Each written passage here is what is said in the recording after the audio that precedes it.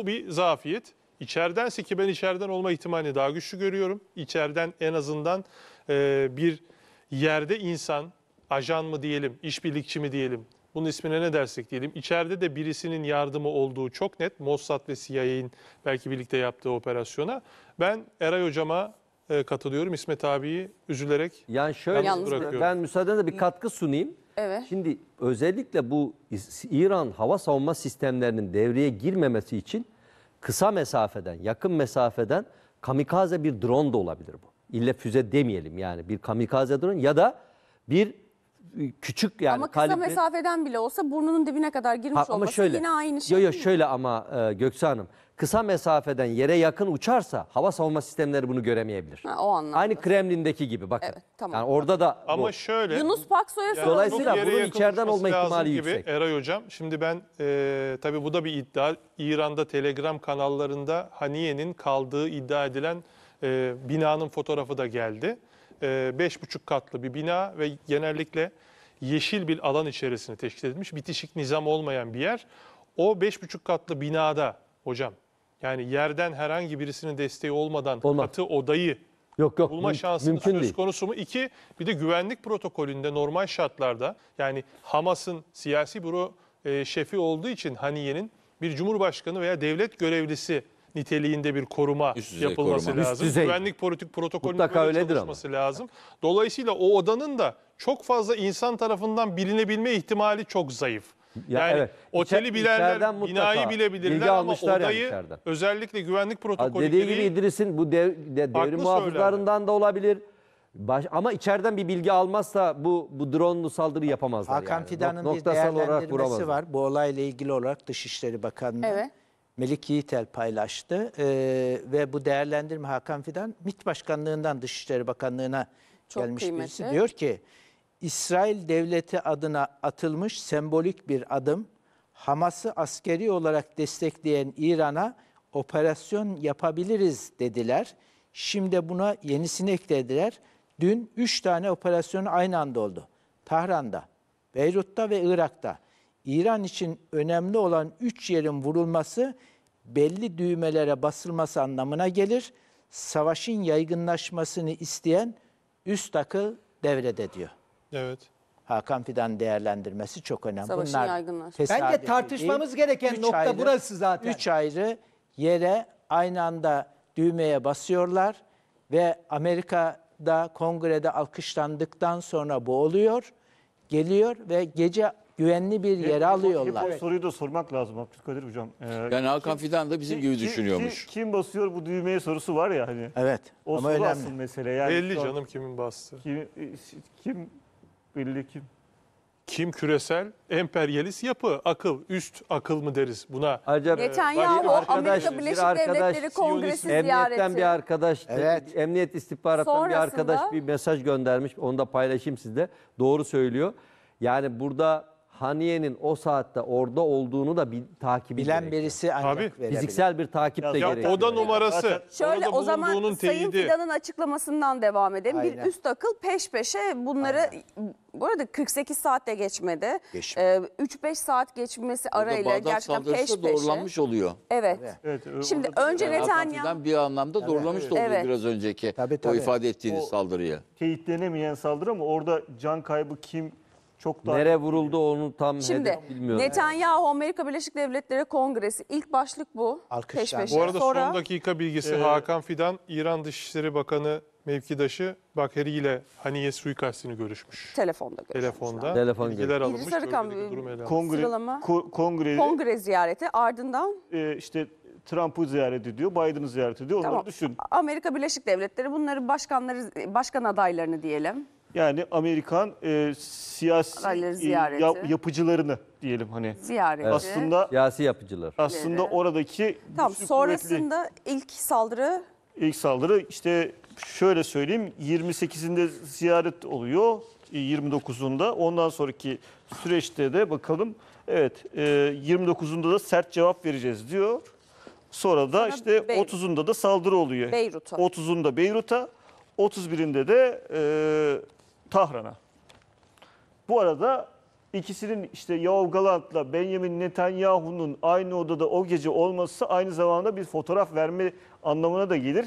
Hatırlarsınız Usama Bin Laden öldürüldüğü gece Amerikalılar o yönetim odasından Tabii, fotoğraf tabii, vermişti. tabii, tabii. Yıllar Bay- sonra o fotoğrafı Obama. göreceğiz demektir. Onu da notumuza alalım. Tabii, yani tabii. Evet. Bugün görmeyiz ama görmedik ama yıllar Yıllar sonra. sonra o fotoğrafı göreceğiz. Bir e, işte İsrail e, e, operasyonu olarak e, o fotoğrafı göreceğimizi Ya düşünüyorum. burada şu bile çok tanıdık değil mi? Yani baktığınızda ilk etapta İsrail genellikle e, infial yaratma ihtimali söz konusu olan olayları sahiplenmiyor. Mesela El Ehli Hastanesi 17 Ekim'de vuruldu.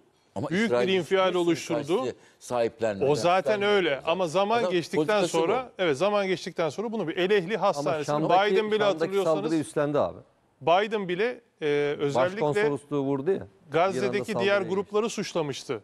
Vurduğunu yani El Ehli Hastanesi'ni Gazze'deki diğer gruplar, cihatçı gruplar vurdu diye suçlamışlardı oynayıp- hatırlarsın. Bu arada Görüntüyle Görüntülerle oynadılar. ya. Reuters Yunus- haber geçmiş. E, Yunus'un Halit Meşal sesini e, duyamadım şey bu olacak akşam. diye. Hama- ha- yeni Hamas lideri olacak. Zaten diye. eskisi de siyasi e, büro şefi oydu. Yeniden tekrar. Yunus'un Halit hiç sesini duyamadım. Yunus burada bir tartışma oldu. Sence nasıl olmuş olabilir? Ee, İsmail Bey de Gazze'den İsmet gelen Bey haber iki de o cephe şekilde. açtı. Halit Meşal.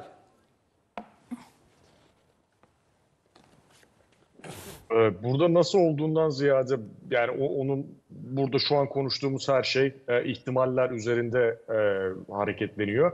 Ama şunu kesin olarak söyleyebiliriz.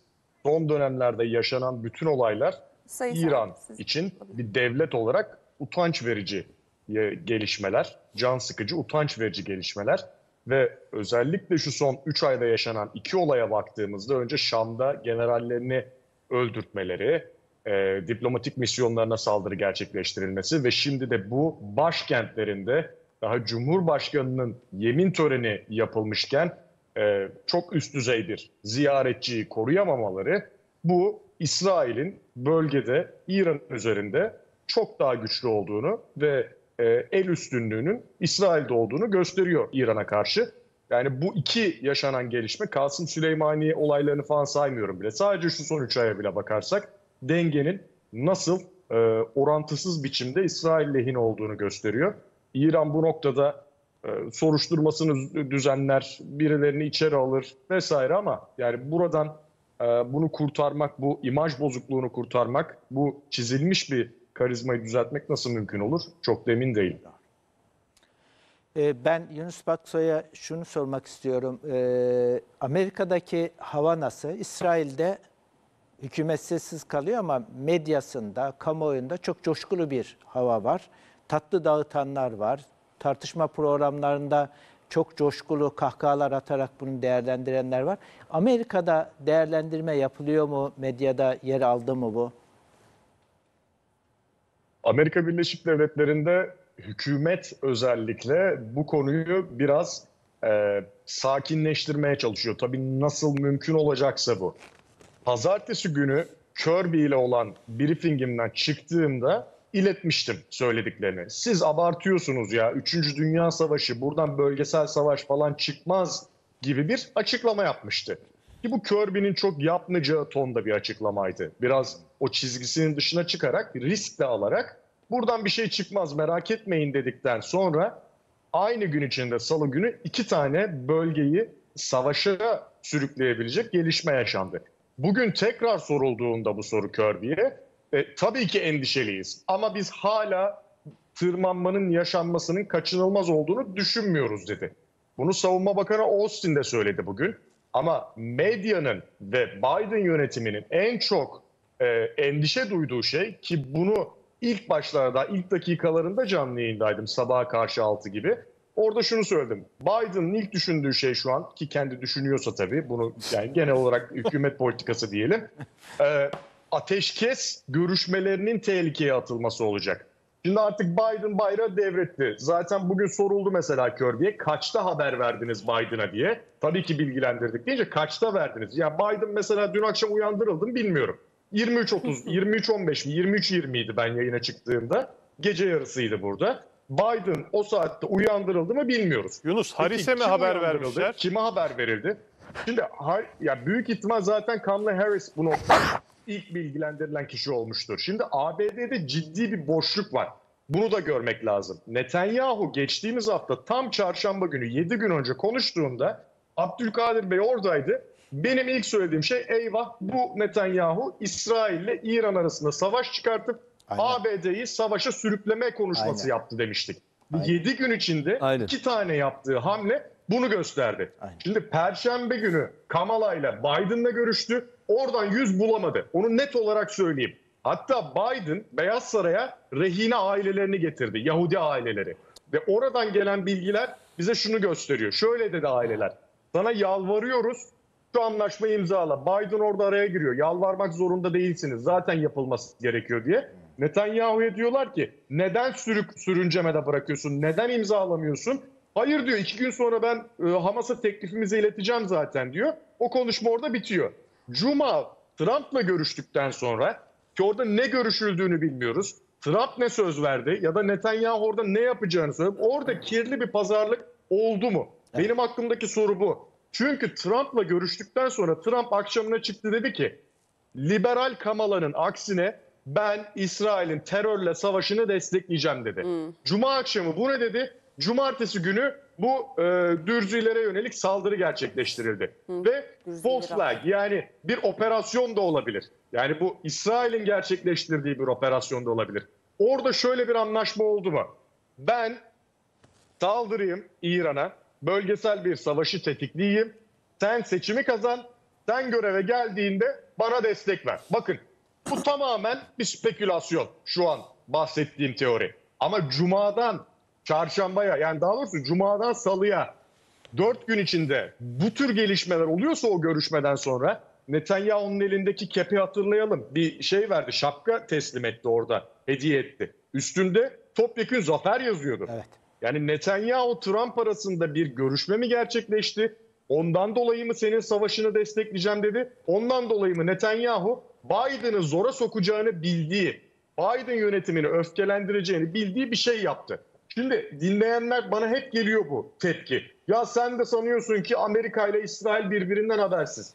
Ben habersiz demiyorum ama Netanyahu'nun şu potansiyelde olduğu birini de herhalde gördük biz artık son 10 aydır. Netanyahu Hizbullah'a saldırıya haber verdi ama İran'da gidip Tahran'da e, Haniye'yi vuracak kadar da haber verdi mi?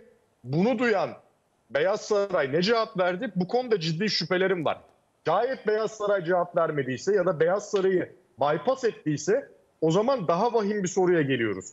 Şu an ABD'yi kim yönetiyor? Zaten kenara ittirilmiş bir Biden var. Bir siyasi darbe e, söylemiyle gönderildi. Beş buçuk ayı kaldı. Artık onu tınlayan yok. Burada yönetim kimin eline geçti? Pentagon mu? CENTCOM mu? CIA mi? Bunu hep Kiminle söyledik. yapıldı Topal bu ördek beraber? benzetmesi üzerinden hep O söyledik. yüzden de Amerika Birleşik Devletleri doğru söylüyor olabilir mi Yunus? Bu e, suikastten haberimiz yok dedi. Olmayabilir mi?